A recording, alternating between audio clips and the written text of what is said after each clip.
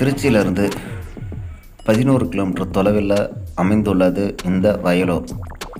இதை வந்து பார்த்திங்கன்னா வயலூர் என்றும் ஆதி வயலூர் குமார வயலூர் என்றும் வெவ்வேறு பேர்களில் இப்பொழுது அழைக்கின்றோம். இங்கே பார்த்தோம் அப்படின்னா இந்த கோயில் வந்து சிவன் தலமாக இருந்தாலும் முருகன் வந்து இந்த கோவிலில் தனக்கென ஒரு பேரை வந்து நிலைநாட்டி இன்று வந்து பார்த்திங்கன்னா சிவன் கோயிலாக இருந்த இந்த இடம் முருகன் கோயிலாகவே மாறியுள்ளது என்பது இது குறிப்பிடத்தக்கது.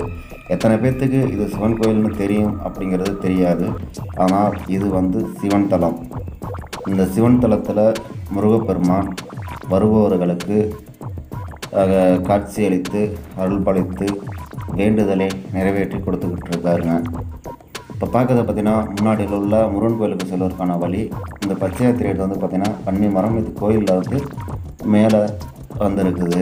அதை உள்ளுக்கார நம்மளால் பார்க்க முடியும். இங்கே வந்து பார்த்தோம்னா இந்த கோயிலுக்கு பூஜைக்கு தேவையானதெல்லாம் பார்த்தீங்கன்னா இங்கே கடைகளில் கிடைக்கும் வாங்கிக்கலாம். இதோட தாரக மந்திரம்னு பார்த்தோம் அப்படின்னா கேட்டது கிடைக்கும் நினைப்பது நடக்கும் அப்படிங்கிறது தாங்க.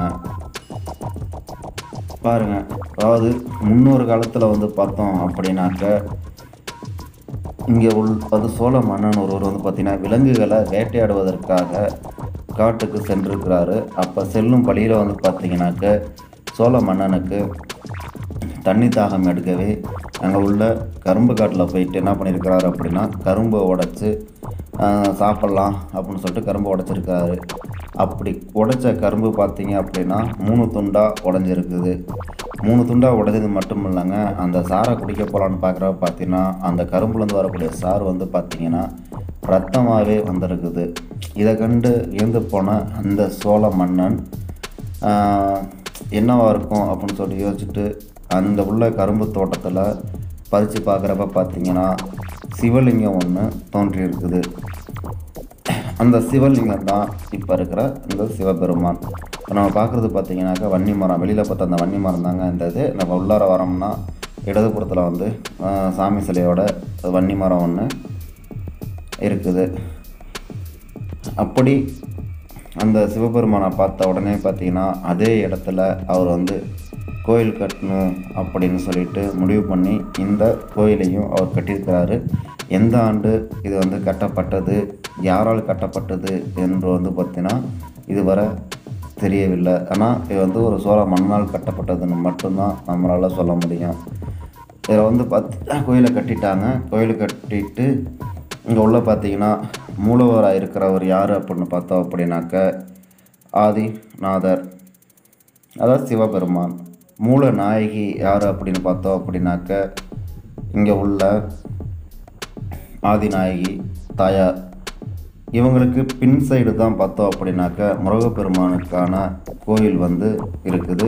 சிவன் கோயிலாகவே இருந்தாலும் இந்த கோயில் வந்து பார்த்திங்கன்னா முருகன் வந்து தன் வசம் எடுத்துக்கிட்டது மாற தன்னோட பேரை வந்து பார்த்திங்கன்னா இந்த வயலில் நிலைநாட்டிட்டாருங்க.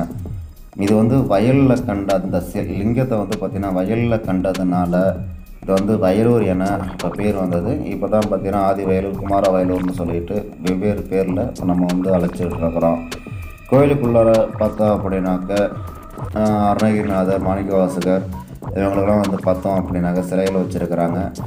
மற்ற கோயில் அந்த ஆறுபடை வீடு மற்ற கோயிலில் உள்ள முருகன் வந்து பார்த்திங்க அப்படின்னா அந்தந்த கோயிலில் என்ன தோற்றத்தில் பக்தர்களுக்கு அருள் பாலிக்கிறாரு அப்படிங்கிற விதமாக பார்த்தோம் அப்படின்னாக்க கோயிலில் ஃபோட்டோவாகவே வச்சுருக்கிறாங்க.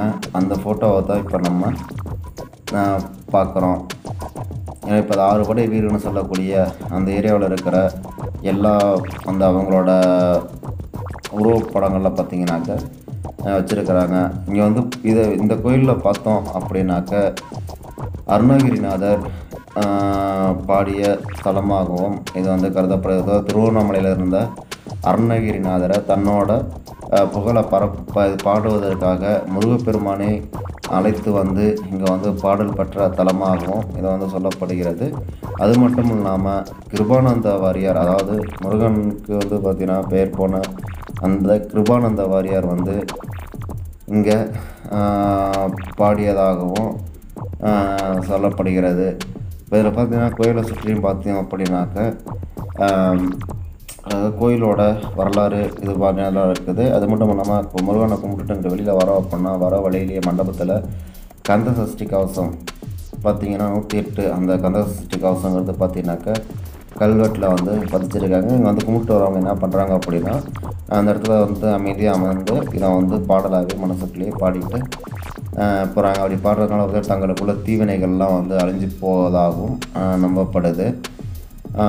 இங்கே பார்த்தீங்கன்னாக்க உள்ள முருகன் வந்து இந்த கோலத்தில் தான் இப்போ எப்படி இருக்காரோ அதே கோலத்தில் தான் அங்கே வந்து வரும். பக்தருக்கு வந்து காட்சி அளிக்கிறாரு. இங்கிட்டு வரோம் அப்படின்னாக்க இந்த இதில் வந்து பார்த்திங்கன்னா நவக்கிரகங்கள். இங்கே வந்து பார்த்திங்கன்னா இந்த கோயிலில் வந்து பார்த்திங்கன்னா சூரிய பகவான் வந்து பார்த்திங்கன்னா தன்னோட மனைவிகளோட இருக்கிறது மாதிரி ஒரு அமைப்பில் இந்த கோயிலில் வச்சு பண்ணியிருக்கிறாங்க. அது வந்து பார்த்திங்கன்னா இந்த கோயிலோட சிறப்பு அப்படின்னு நம்மளால் சொல்ல முடியும். இங்கே உள்ள அக்னி தீ சக்தி தீர்த்தம்ங்கிறது வந்து பார்த்திங்கனாக்க முருகப்பெருமான் தன்னோட வேலில் இருந்து வேலை குத்துறப்ப அதிலேருந்து உருவானது தான் இந்த சக்தி தீர்த்தம் அப்படின்னு சொல்லிட்டோம். வந்து நம்ம சொல்கிறோம் இப்போ இந்த கம்பங்கிறத பார்த்திங்கன்னா சிவன் கோயிலுக்கு சிவபெருமானுக்கு நேராக இருக்கக்கூடியது. நம்ம சிவபெருமானை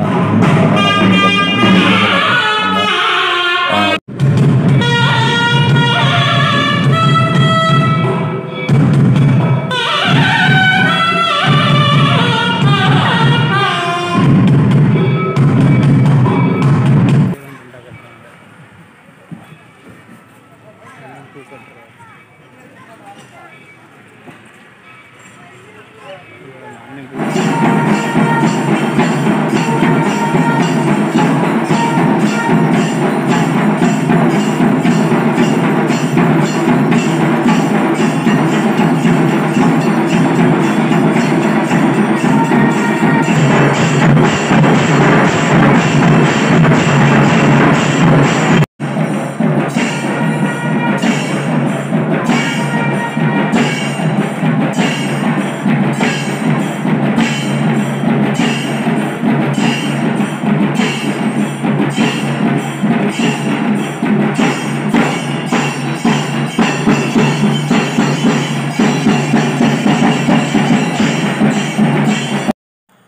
கோயிலோட முன் சைடு பார்க்குறோம் அப்படின்னாக்க ஆலமரத்துக்கடியில் விநாயகரை வந்து பார்த்திங்கன்னா சிலை வச்சுருக்குறாங்க. சிலை வச்சு பார்த்திங்கனாக்கா இந்த இதுலேயும் வந்து பார்த்தீங்கன்னாக்கா வழிபடுறாங்க.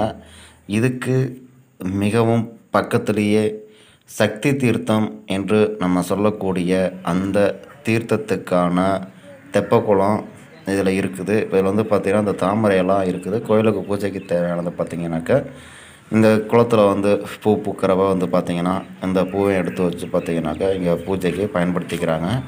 அதுக்கு பக்கத்துலேயே பார்த்தோம் அப்படின்னாக்க தேரடி கற்பனசாமி என்று சொல்லக்கூடிய காவல் தெய்வமான கற்பனசாமி இங்கே இருக்காங்க. இங்கே பார்த்தீங்கன்னாக்கா அதெல்லாம் வேண்டுதலுக்காக வாங்கி வச்சு வேண்டுதல் நிறைவேறி வாங்கி வச்ச இந்த வேலு தாங்க இப்போ நம்ம பார்த்துக்கிட்டு இருக்கிறது. இந்த தேரடி கற்பனசாமிக்கு பின்னாடியே பார்த்தோம் அப்படின்னாக்க இந்த கோயிலில் அதாவது பங்குனி உத்திரம் இந்த மாதிரி டயத்தில் ஓட்டக்கூடிய அந்த பெரிய தேரும் பார்த்திங்கன்னா அந்த இதுக்கு பக்கத்துலேயே இருக்குது